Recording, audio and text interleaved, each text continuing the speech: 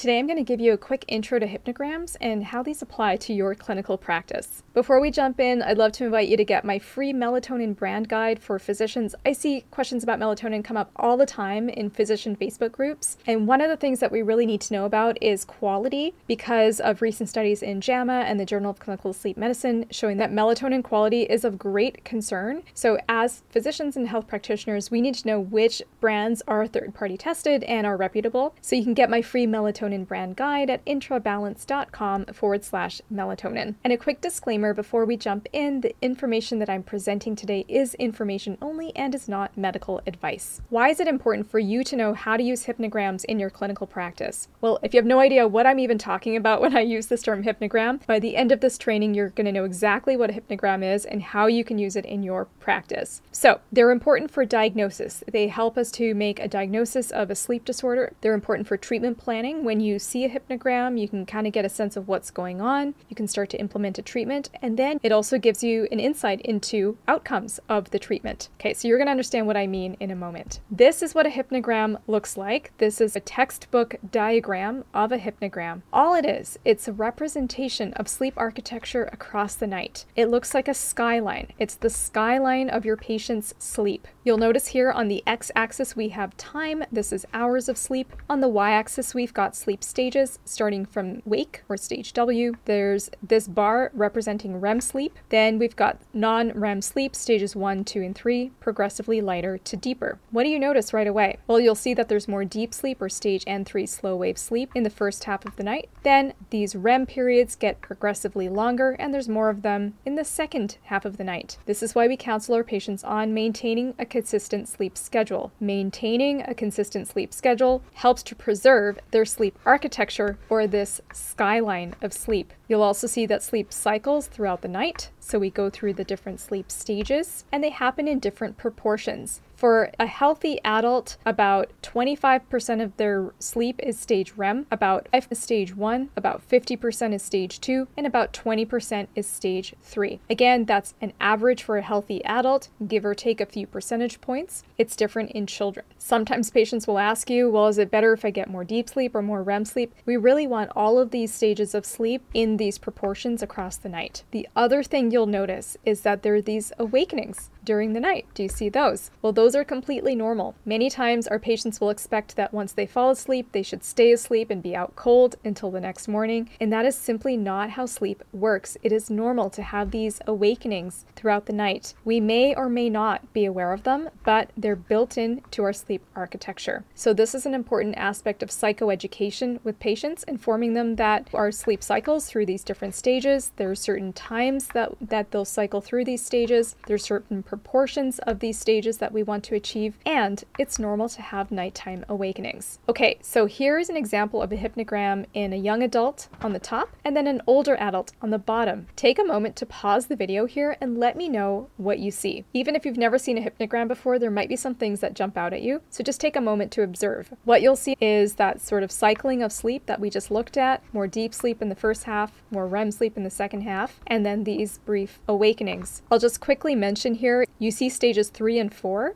This is an old classification. Sleep used to be broken down into these four non-REM stages. Now stage four is bundled into stage three, so we just call it stage three. On the bottom hypnogram here, in the older adult, what do you see? Lots of these awakenings, lots more sleep fragmentation. What you might hear from a patient is they'll say to you, I was awake all night, I didn't get any sleep. And the reason for that is because if they're having a lot of these awakenings, the brain is going to remember those awakenings. The brain's not necessarily going to remember when they were asleep. To the patient, it feels like I didn't get any sleep, even though you can see they were getting some deep sleep. There, there was REM across the night, there were these sleep periods, but there were so many awakenings and the sleep was fragmented that to the patient it feels like they didn't sleep at all. Now, why is it that we have lighter sleep as we get older? Why do we sleep so deeply when we're younger? And why is it that younger people tend to have a more delayed sleep schedule, and then with age we tend to have a more advanced sleep schedule? Well, it's not that some of that might be related to evolution. For safety, it would make sense to have the younger, fitter people awake at night to look out for any danger or invasions or other threats to the village or to the tribe. Whereas it would make sense to have the older people who were awake earlier or maybe had more light sleep so that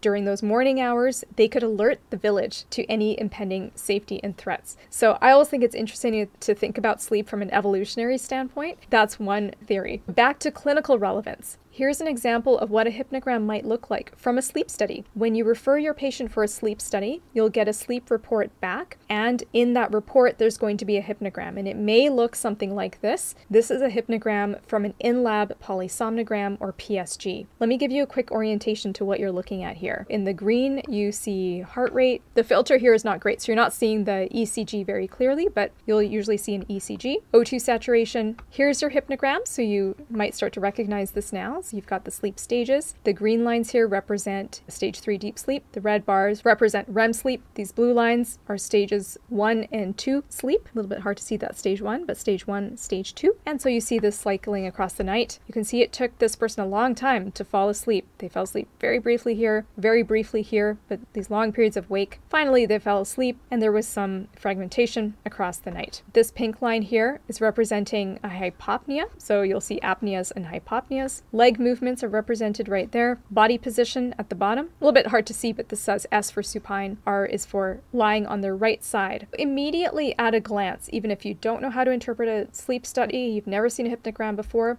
what you can see immediately is lots of fragmentation, lots of wake, and not a lot of obstructive apneas or hypopneas. So you can see that right away, and also not a ton of leg movements. There's just a few here and there. Here's another hypnogram. Take a moment to pause the video here and just note, what do you see? Let me orient you to this one. This is also from an in-lab study. You'll notice here, this is the CPAP titration. It started right there. CPAP was started at a pressure of 5. The first half of the study was run as a baseline diagnostic study to see if this person has sleep apnea. Then the second half of the study was run as a CPAP titration to figure out the effective CPAP pressure. What do you notice? Well, let's look at the sleep staging again. Lots of fragmentation here, some deep sleep, period of awakening here, more fragmentation, more awake. The CPAP was started right around here, so it makes sense. The person had this awakening, and the tech came in to put on the CPAP. In the CPAP titration portion, you see this period of deep sleep, then a long period of REM sleep, lots of deep sleep, more REM sleep, lots of deep sleep, more REM sleep. We would call this slow wave sleep rebound and REM sleep rebound because the person's now on treatment, They've been so sleep deprived that now they're getting deep sleep and REM sleep. Now, as far as the sleep apnea piece, lots of obstructive apneas here, obstructive hypopneas. So this person has sleep apnea, and you can see how it was fragmenting their sleep. Once they started on CPAP, started at a pressure of 5, titrating up to 8 here, that wasn't quite enough to overcome those obstructive events. Once they got up to a pressure of 10 and beyond, you can see these apneas, hypopneas